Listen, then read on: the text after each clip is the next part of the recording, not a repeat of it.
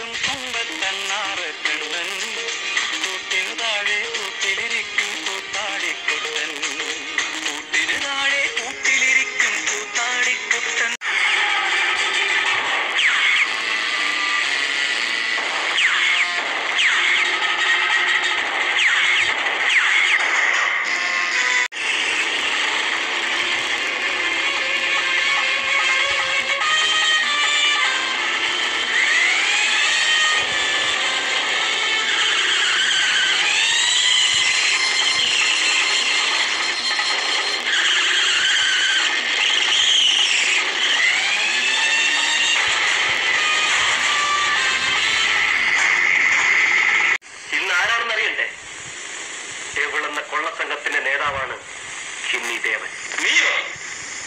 അതെ ഞാൻ തന്നെ.